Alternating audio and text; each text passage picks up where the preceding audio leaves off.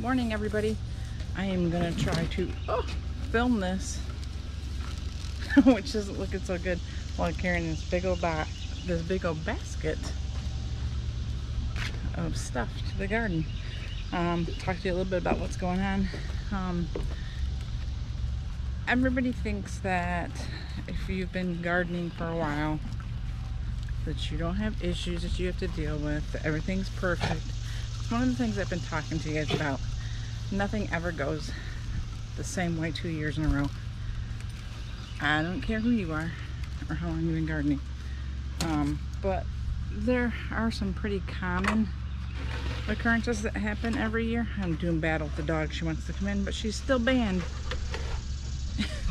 um, there are some pretty common occurrences that happen every year in everybody's gardens um, that you can't stop but that maybe you can kind of control a little bit. And one of them that I'm dealing with right now is squash bugs. We also have some vine borers going on too. So today I'm going to um, handle try to handle the squash bugs um, and show you what I'm doing. Our spaghetti plant, spaghetti squash plant, is pretty much, I think, done for. This is, I'll turn around. Early morning in the garden, cobwebs, yay. I'm not a girly girl. I'm not a big fan of bugs either, so take it for what it is. Anyway, so this is what's happening with our squash plant. Um, I believe there's a vine borer in this stem back here because it's really soft and it's actually breaking off um, and nothing maybe one in this one I'm not gonna get in there. I can get in there and I could dig it out. I'm not gonna worry with that because this plant has produced we're gonna I'm gonna harvest them today too so you can see. I think we got four or five big spaghetti squash from one plant so that's a good harvest. And a couple smaller ones. They will they will continue to harvest or ripen when we take them off um, the vine. So I'm gonna come in I'm gonna eradicate as many of the squash bugs as I can today that I see right now um, and I also have a trick that I've learned um, that I'm gonna show you guys uh, how to help prevent them from spreading more. They do live in the top six inches of the soil. They will, um, squash bugs will go after any um, squash plant, zucchinis, acorn squash, you know, winter squash, summer squash, watermelons, cucumbers, because they're in the, they're all in the cucur, cucurbit, I can never pronounce that family. Um, and we are, are seeing some damage like on our pumpkin plants also. Um, so I'm going to try to slow the progress down as much as I can. But you're never going to stop it all the way. I don't use chemicals on our garden. It's just just one of the one of the things you have to deal with when you don't use chemicals. And and squash bugs even with with chemical herbicides or pesticides, I mean, they are still an issue for those people also because because of the way that they are um, built basically. The the eggs um, and I'll try to find some on some of these leaves so you guys can see what they look like. The eggs are like really tough. The um, bodies of the adults you know are, are also very tough so it's hard to get anything to permeate them or penetrate them so the best that you can do is to one of the methods I'm gonna, well I'm gonna show you two methods today that I'm gonna do um, to try to get rid of them. Well, technically three, I guess, if you think about it. um, so it's not perfect. It's not gonna get rid of all of them, like I said, because once they each each adult female squash bug lays 250 eggs a year. That's a lot. They multiply, I think, worse than rabbits do, quite honestly. So there, there's a lot of of potential for bugs here. So anyway, let's go, I'm gonna go ahead and get started and show you a little bit about what I've got here in my basket. Two um, tools that you can find around the house, anyhow. Well, most houses, I should say. A piece of board, Doesn't have to be anything fancy, just a piece of board. I'm gonna, this is twofold for me right now because I didn't bring my kneeler out. So this is my kneeler for, for the first half of this video. And handy dandy bucket with soapy water. So you can see how yellow like these plants are. They suck like, for lack of better terms, the juices out of the plants, out of this, the leaves and stuff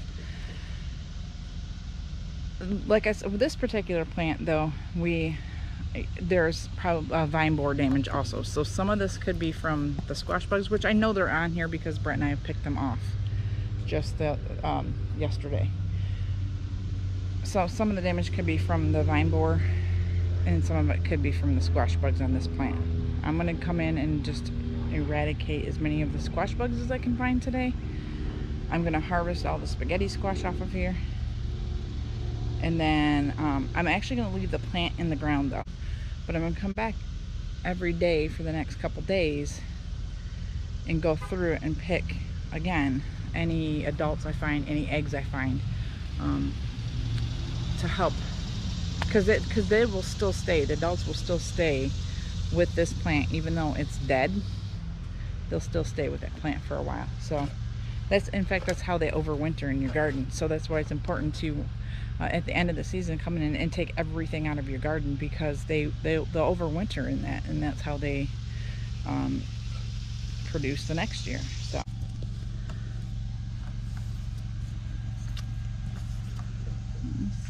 Of course today I'm not going to be able to find any bugs. They like to hide underneath the leaves and that's where they'll lay their eggs too, is underneath right here. Let me show you. I knew if I got down on my knees, I'd find one up high. Right there. See that cluster? That's an egg cluster. You could try to pick them off.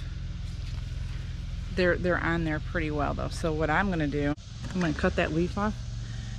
I'm gonna take it. I'm not gonna put that in my compost pile. Some people do.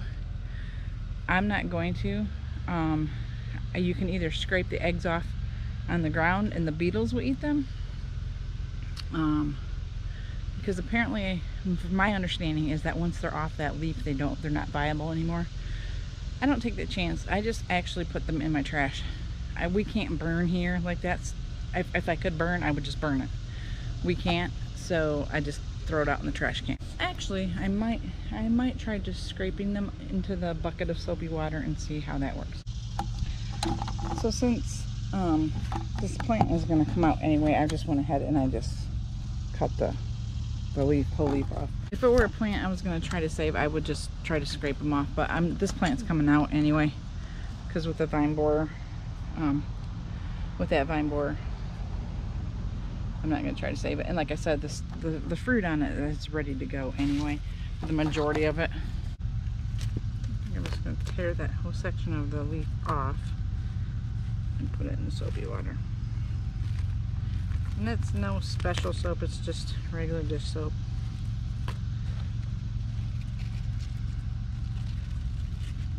I don't see more eggs on that one. Let's see.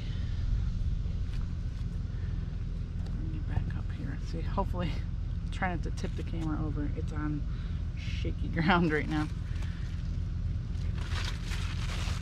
I'm trying to find a cluster of the juveniles to show you guys. Not that it's my favorite thing to find because if you've ever seen a cluster of juvenile, they're gross. There's a lot of them and it's just gross. I'm not a bug, I'm not, I'm not a girly girl, but I'm not a bug girl either. Like, it's not my idea of fun to stick my head into a spider web or to have to grab a handful of bugs.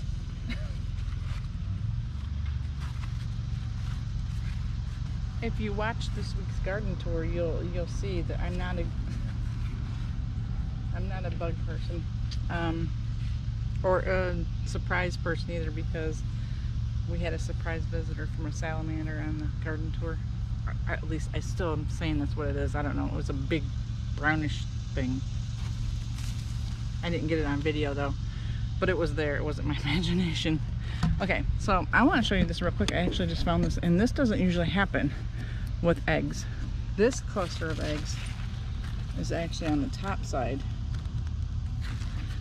of that leaf. Usually the clusters are always on the bottom. That's a new for me. I've never seen them clustered on the top like that.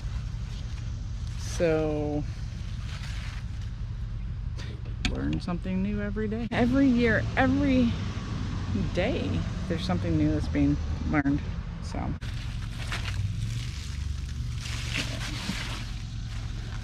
Wow. Hmm.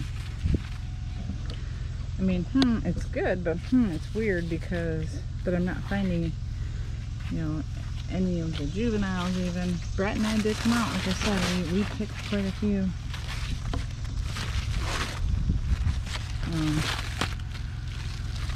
of the juveniles off.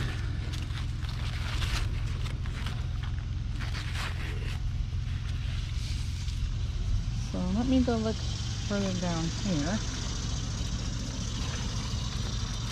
Move this all out of the way here. And you're not gonna get every single one, guys. It's just it's just impossible um, to to get them all. They're very good at hiding.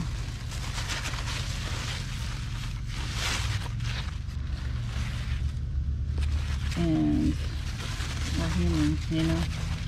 It's just whew, wasp. I'm telling you, it's a bug, buggy bug world right now. Um,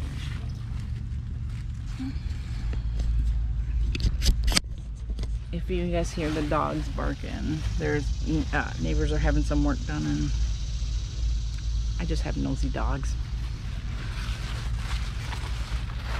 especially him.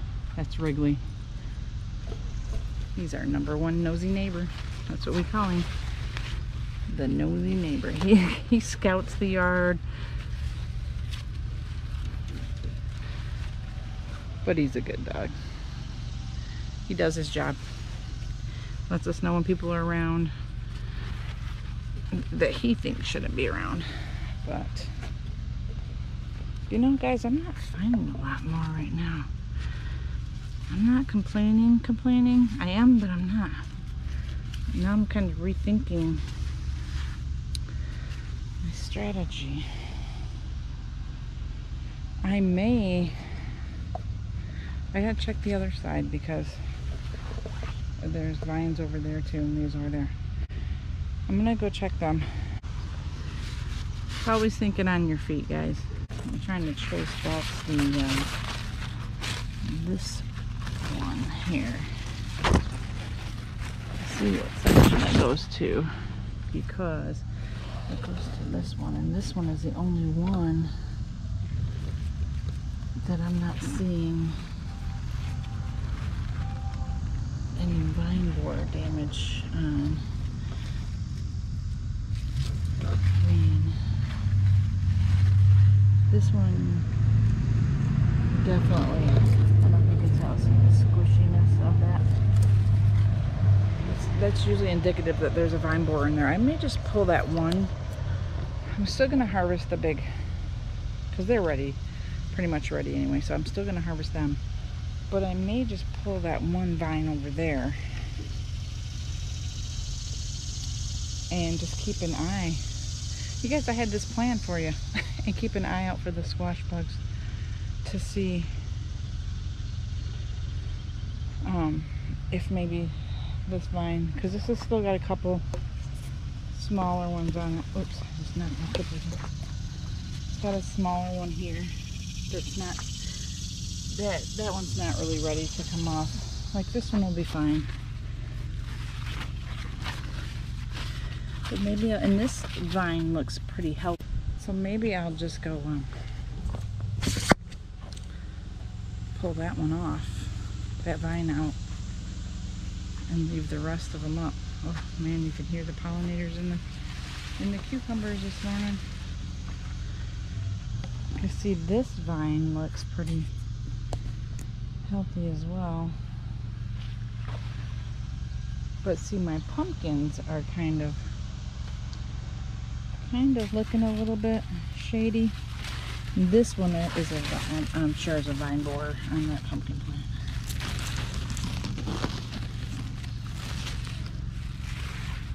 I haven't checked this for squash bugs yet.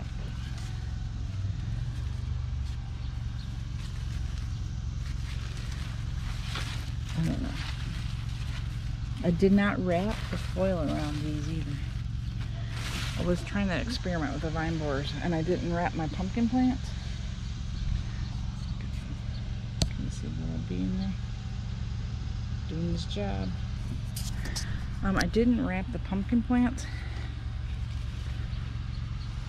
or any of the acorn or spaghetti squash. I wrapped zucchini back there and yellow squash back there. It's also getting very hot here. It's that time of year. So um, I'm not expecting these guys to last much longer anyway. Hot and humid with the blight is usually a, you know, see, you can see it's getting some powdery mildew on it now. Not blight, sorry, powdery mildew. Oh, I've got tomato head right now. I'm watching my tomatoes really closely. Yeah, see, we got powdery mildew going on. Starting. This is just something that this wasn't here yesterday, last night even. We door. Trying to make a decision. Oh, you're gonna hear Wrigley get a little bit miffed right now. Well, not miffed, excited because one of his friends is walking by, and he doesn't get to go see them. Ah. But while I'm standing over here in the shade, I moved away from the spaghetti squash plant right there. This is my acorn plant.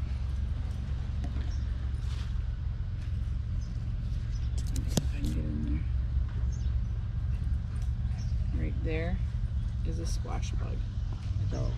So they've moved on. And the locusts are here now, apparently. So it looks like they've moved on to the acorn plant. Um, acorn squash, I should say. It's really not acorns, guys, it's squash. Even though I call it acorn plant and acorn, it's acorn squash. I just shorten it up. I think I'm going to go ahead and I'm still going to harvest those um, four or five spaghetti squash that look like they're ready to go. Um, I'm going to clip off the yellow leaves and maybe I'll just see what happens see how much longer it goes with that. Um, and obviously I'll stay on top of picking the the squash bugs and that like I, like I was doing with the soap. Um, and I'm gonna get the spider web out of my face. And then I'm gonna go on to the uh, acorn squash because see how these are starting to turn yellow that's usually meaning that there's stink bugs. Well we just saw that big adult one so but there's something else eating them too so. The joys of gardening guys the joys of organic gardening. Plus we got some powdery mildew sitting in here. I'm not freaking out about. Um, this plant has a couple acorn squash on it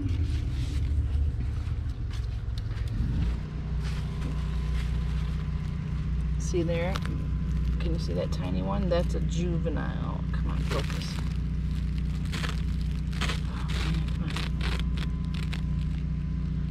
That's a juvenile squash bug. Oh, and there's another one. This is a different stage. Okay, so I'm gonna go grab my soap bucket real quick because of course I left it on the other side. Um, and get those guys off of there.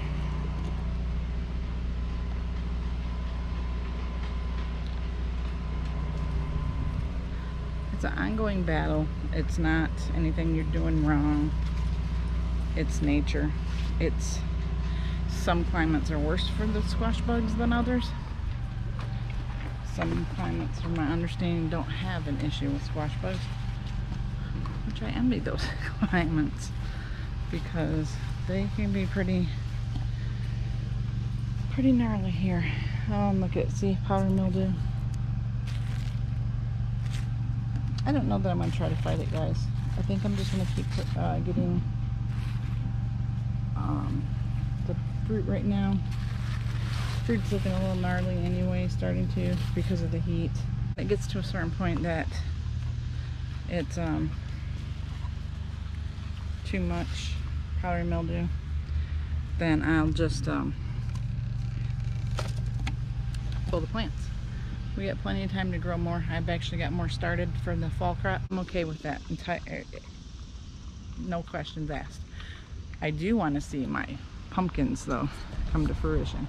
I don't know if you can see that baby right there on top. So that's two good sized ones and hopefully that one, that plant um, hangs on to get that one because it's the same plant that the other one that's almost ripe is on. So hopefully that one gets ripened and then I'll be all right.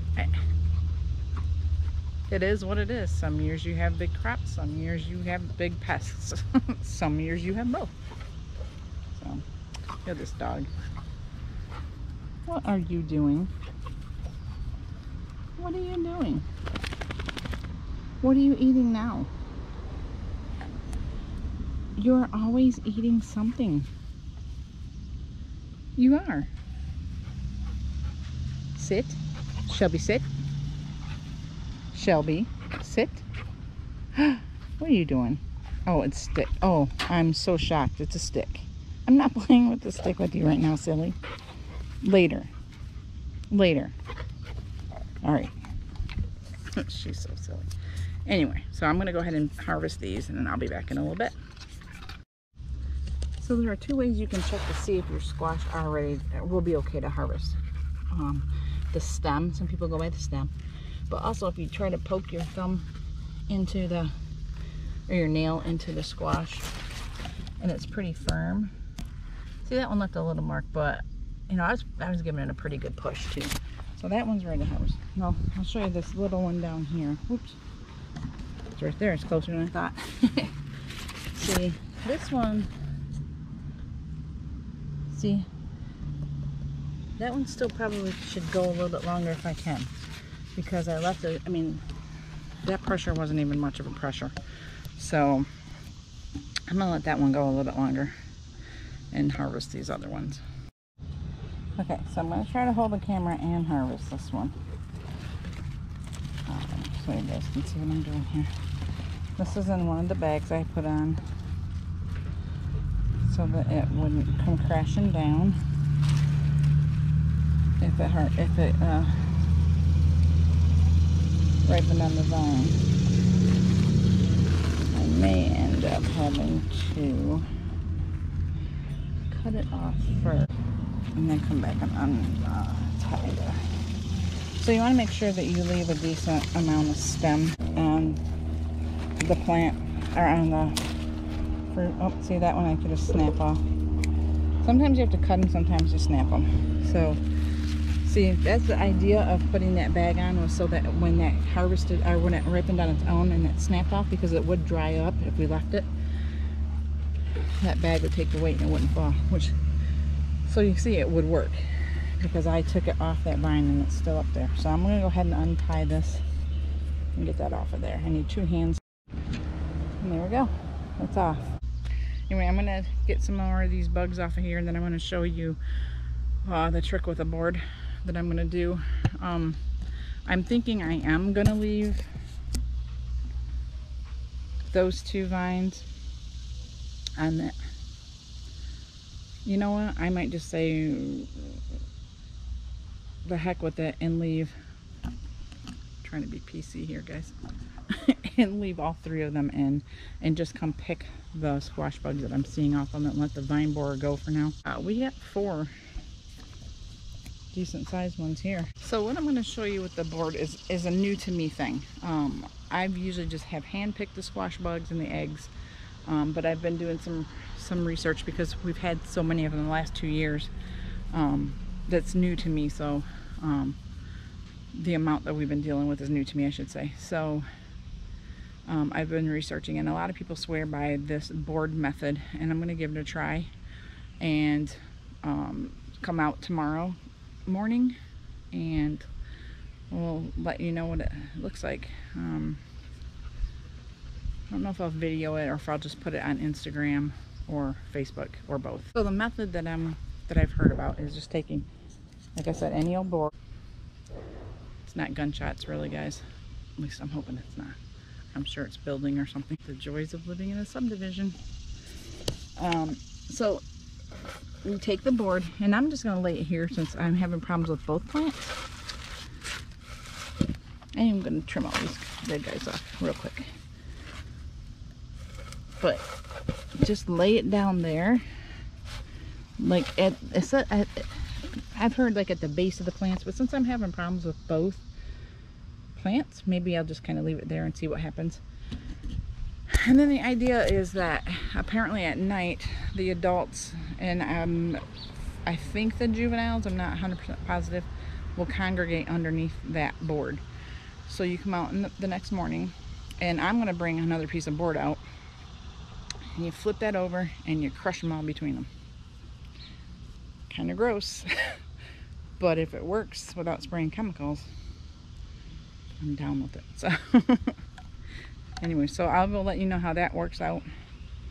I'm going to go ahead and trim these up and then I'll be right back. Okay guys, so here's what I did. I just came in and I clipped all the yucky looking stuff off for now. Just to kind of help maybe see if I can get those other two fruits to um, ripen. As of right now,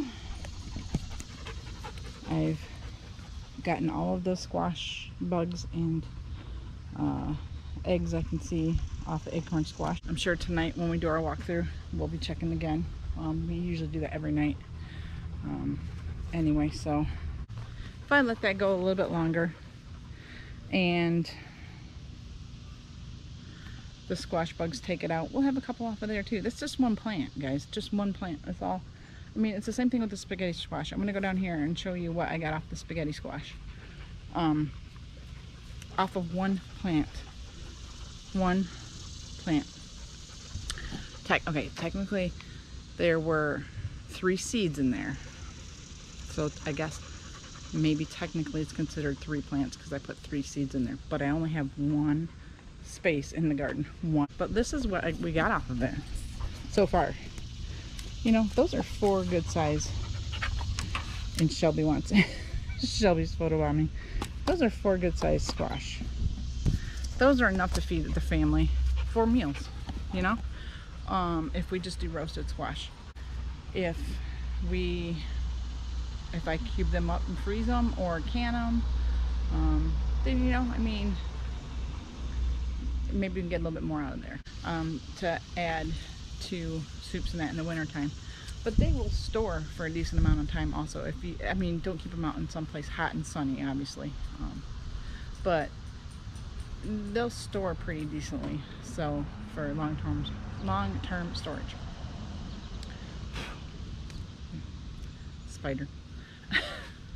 but anyway, so I just kind of want to bring you along. And with all the failures of the garden, there's successes too because technically, I mean, yes, we have squash bugs, but is it a failure? Because we've got at least four decent sized squash off of that one plant space. Uh, I'll put it that way.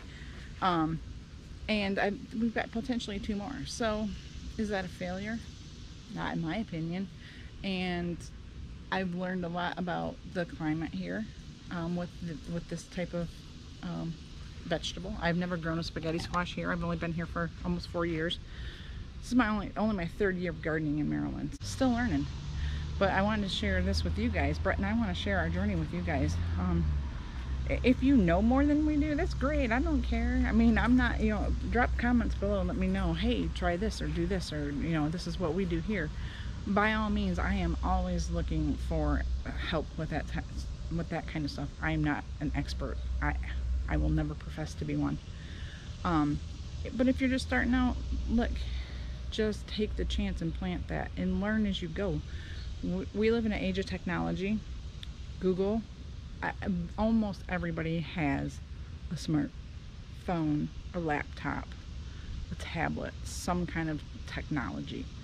Google stuff if you don't know. Ask, get on Facebook, you know, go to the groups in Facebook, find a group in your area. Um, there are a lot of Facebook groups out there. Ask questions. Don't be afraid to ask questions. Ask questions on the YouTube videos that you, or channels you follow. Somebody, if not, if not the channel owner, somebody that's subscribed to that channel, and and most of the time, more than one somebody's, will give you advice, will help you out. Don't be afraid to ask. I ask all the time. You know, hey, this is new to me. What do you guys do about it? Hey, have you ever seen this? What is this bug?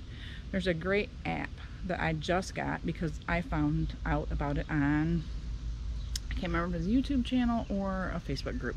One or the other because I frequent them. Um, it's called, the one I have is, that crazy dog over there. And then she wonders why the ant spider. Um, the, the app I have is called Picture Insect.